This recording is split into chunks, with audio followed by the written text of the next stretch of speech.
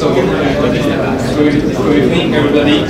So today I'll be talking on a topic, uh, alternative pull requests.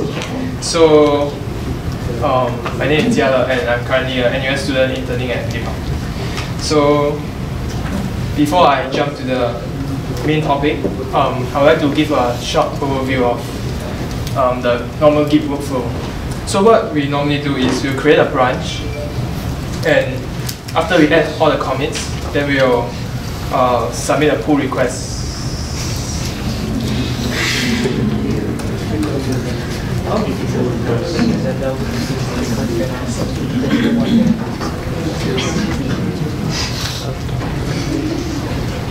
So we submit a pull request, and somebody will review your code, and they'll actually merge it and deploy it to live. So this is a typical workflow, but um, under what if um, under a specific specific scenario, um, such as like when we have no access to the server that you are currently working with, um, or maybe your Git server is behind a firewall and without a VPN you couldn't, couldn't access it. So um, can do it with this special command. And we can generate patches using this command got called git format patch. So and has anybody used this command before? No? Yeah, uh, as I figured, because this command is pretty is you don't need this under a normal scenario because it's actually a bad workflow if you think about it. Because what this command does is actually you create a patch and you are supposed to email it to the person, the maintainer of the repo, and he will apply the patches on top of it. And this is, under normal circumstances, this is actually not uh, recommended. But sometimes it may come handy if you know it. So now I'm going to give you a short demo on how to use this command.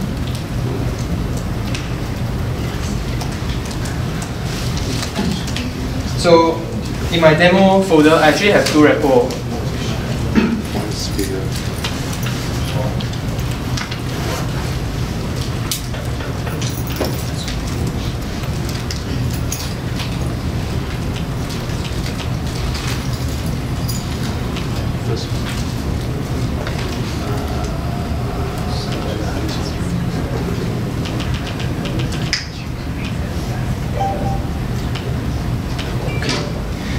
So I have two uh, repo in my folder. So one is mine and the other one is uh, John John's repo.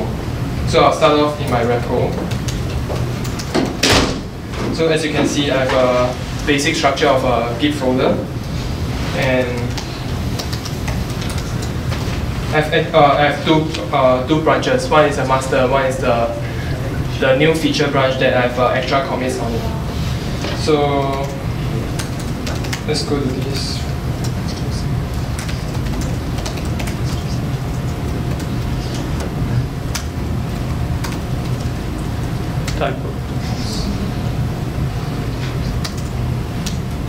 So as you can see, um, my my my my commits on uh, this feature branch is actually too uh, is much ahead of my master branch and now I'll show you how to create a patch on this. So um, the basic command is a git format patch. So uh, master is actually referring to the master branch. So you'll compare the extra commits that you have on this branch to your master against your master branch, and by calling this uh, std out command, you can actually redirect them to a new uh, new file that you want it to be. So I'll call it a new feature.patch. Without, without the std out and the redirection behind, you actually generate uh, numerous patches. So for example, I have two, I'm two commit ahead, so I'll generate two files. And to apply it is actually much more troublesome and to email it to. So by doing this, you can combine, you can squash two commits into one patch file. So um, so as you can see, yeah, this is actually a new file called new feature.patch. So if you take a closer closer look of the patch file,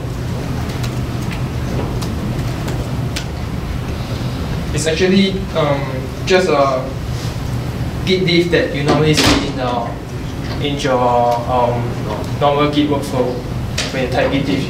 So it's actually just a, they put into a text file. Yeah. So what you can do with this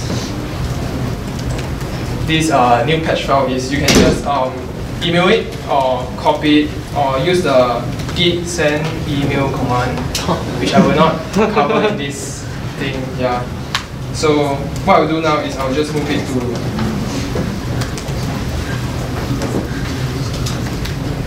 Alright, cool. So um,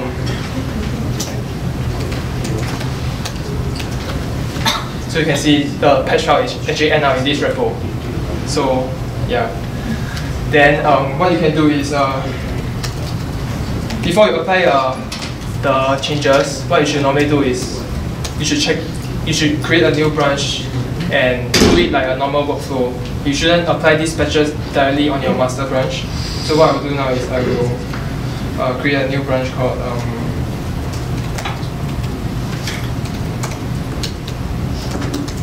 so what I'll do is I'll just uh, apply it.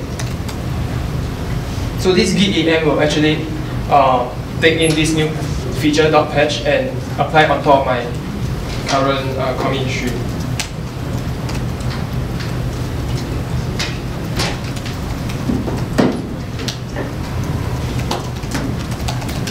So as you can see now, the two two changes that I made, the change the color of headers and add new section headers and just apply on top of it. Um, do note that the by using this method, the SHA the SHA of the commit history is actually different from what you do on a normal workflow. So this SHA is actually different from the SHA of the original repo. So that's why that's another reason why we have to um, um, we have to create another branch and merge it in so that there'll be a consistency on the remote repo. Yeah. So I think that's all from me. Any question? Uh, what UI are you using? Like the review patch, like that, like blue and yellow thing. What's the, what kind of console are you using? Yeah, yeah. What's like the, it's It's just uh, everyone has the same question in mind. I was about to ask yeah, it's just a skin. Uh, and it's a Z Z Z Z S H. Oh.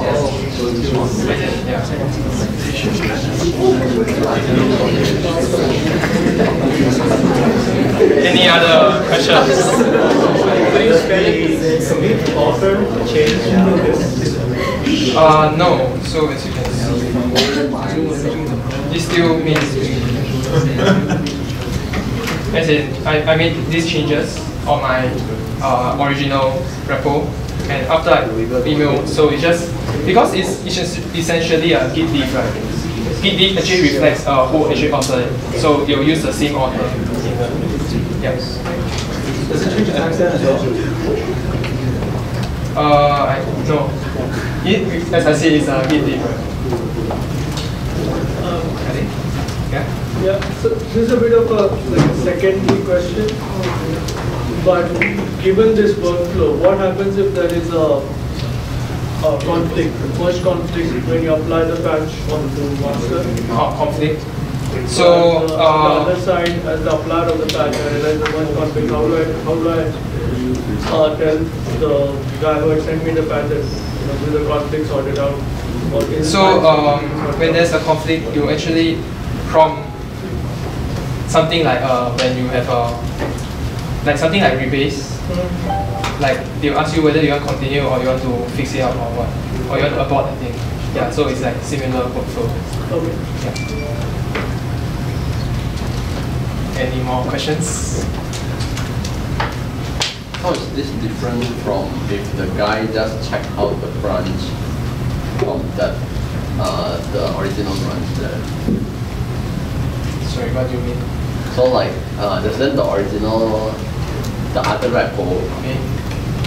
they are the same they are from the same uh, are they of the same Okay, so what my okay so uh, before I change make any changes, both of, of the repos are actually the same. They are tracking the the remote uh, remote repo.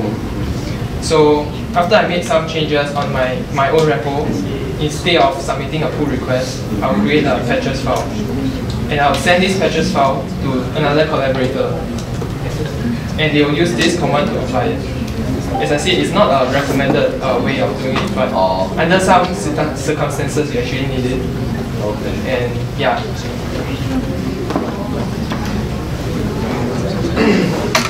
Uh, just, just, So, just uh, sorry, one more question. Uh, So at the end, you would, oh, just, just a short question. So at the end, you would uh, merge the review patch with the master branch. Yeah. yeah. So on GitHub, you actually show. Uh, not sure if you see this before. You say committed by this person, but it's authored by someone else. Yeah.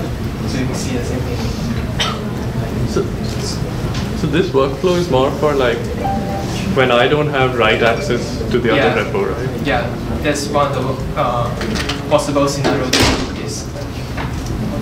Yeah, but nowadays it's quite rare that this will be used.